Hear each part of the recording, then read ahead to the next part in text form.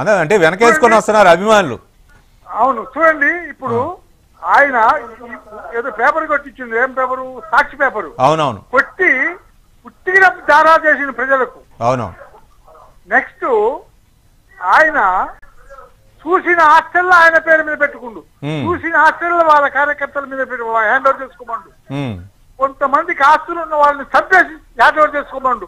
ఎంత పాపాత్తుడు ఎక్కడ ఉన్నాడండి? అవునవును.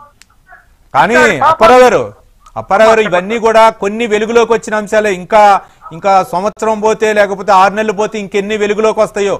ఇప్పుడు ప్రభుత్వం వీటన్నిటిని. వెలుగు తీయడానికి ఎంతో సమయం పట్టింది. ఉమ్మడి ఆంధ్రప్రదేశ్లో. ఇతను హైదరాబాద్లో సగం ఆక్రమించుకుండు. అవునవును. మళ్ళీ అవును. ప్రతి ఒక్కరి కాదు డబ్బు ఉన్నోడు కదా "రేయ్, నాకు ఇస్తాను నేను చంపేయనా? అవునవును. అని ప్రచారం చేసినోడు గొప్ప వీడేనండి అవును. ప్రపంచంలో ఇంత మూర్ఖుడు ఎక్కడ ఎవరు లేడండి. వీడు నెక్స్ట్ తెలంగాణ ముఖ్యమంత్రి. వీరిద్దరంత ప్రపంచంలో ఇంత అన్యాయంగా చేసిన- right right thank you Apparao garu. మీ యొక్క అభిప్రాయాన్ని. చెప్పినందుకు. అప్పారావు గారు థ్యాంక్ యూ మీ యొక్క అభిప్రాయాన్ని చెప్పినందుకు.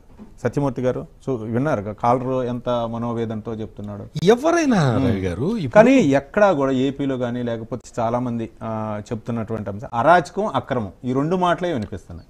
ఇప్పుడు అంటే మనం ఒక పార్టీ గురించి